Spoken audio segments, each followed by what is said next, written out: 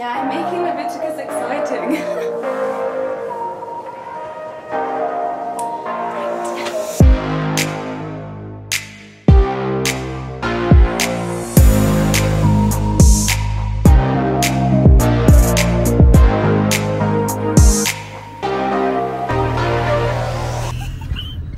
Hey, what's up guys? Welcome back. If you are new here, hi, I'm Sanna and welcome to my channel. I hope you've had a lovely week and enjoy this Devo. So today I thought we could look at the book of Leviticus. Yes, you heard me right, Leviticus. But please don't check out, I promise to make this book fun. So I had a dream a couple months back now, and in my dream I had such an urgency to spread the gospel and tell people about Jesus, and part of this was knowing the whole Bible, even the funky books like Leviticus.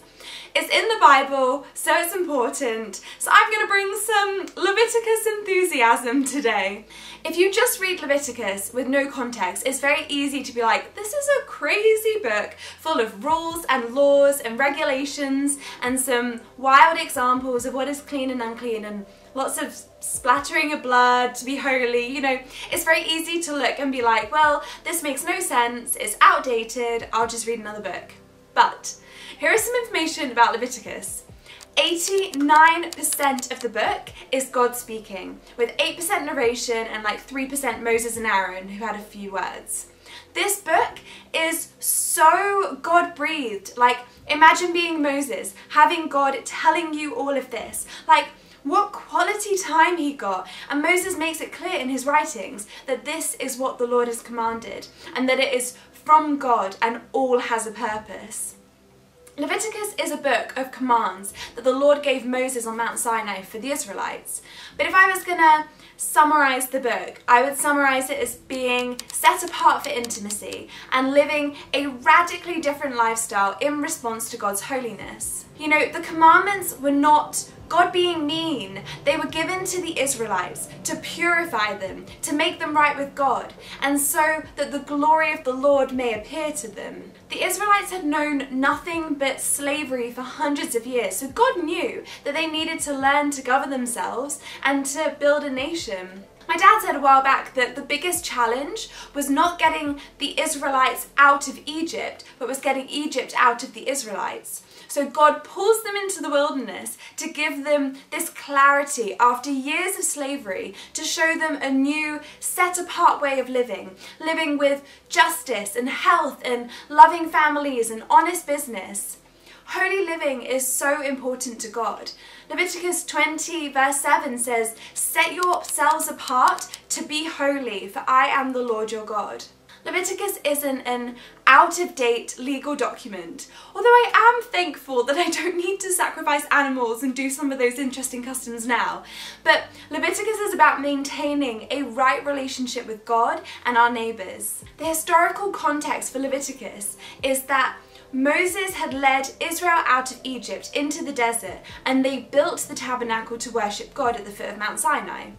This was a vital time to train them to listen, obey, and function as people without being influenced by other nations and their ways. While waiting for their orders to head to the promised land, God gave these instructions so that they could build their lives and their nation on a strong foundation.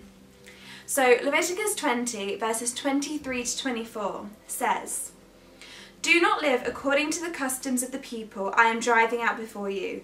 It is because they do these shameful things that I detest them. But I have promised you, you will possess the land because I will give it to you as your possession, a land flowing with milk and honey. I am the Lord your God, who has set you apart from all other people. Verse 26 says, You must be holy because I, the Lord, am holy. I have set you apart from all other people to be my very own. You know, God was preparing these people for the promised land. The rules, decrees, and regulations are because He cares.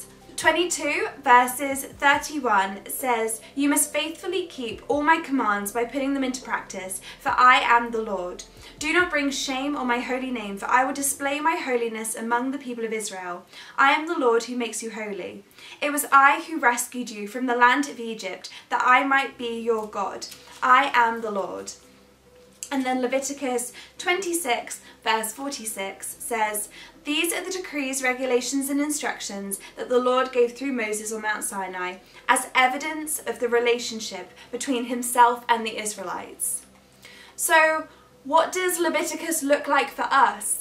I think it's easy to judge books like this or judge things and just think that they're not relevant or that they're outdated, but 89% of this book is God speaking. And yes, the book of Leviticus was written to the people of Israel because God wanted the people of Israel to have instructions for their social and religious life.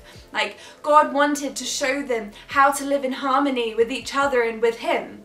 But how can we apply this to our lives now? By living holy lives, by pursuing relationship with God and prioritizing it, and by being set apart. God wants to have a personal relationship with us and He wants us to be set apart for Him. And this looks like walking in obedience.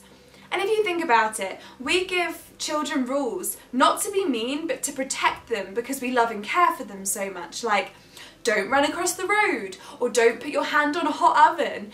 Just think how much more God would do this for us because He loves and cares for us. And this is why this book is so important because it shows us how much God loves and cares for us. And you know, as Christians, this often looks like sacrificing a lot of worldly things, going against the norm of society and standing out, which is uncomfortable and tough, but it is so worth it. Over the years, I've had to sacrifice so much time with family and friends because of being around the world. I've missed key events because of being on mission. Some people don't understand my lifestyle and why I want to spend time sharing about Jesus and populating heaven. But God sees your sacrifices. And I feel like often when we hear the word sacrifice, we think of it as a negative thing. It doesn't sound very good. But actually, sacrifice is such an honour and such a privilege. And, you know, this can look like sacrificing time to read Leviticus. Like, not necessarily fun, but fruitful. And when it's for Jesus, it is so worth it. So, let's stand out and be set apart. Like, I want to be hungry to live a life of holiness, and I want to be set apart for God. And I hope you do too. Well, that is what I have for you today. Have a great day, have a great week, and see you next Wednesday. Bye!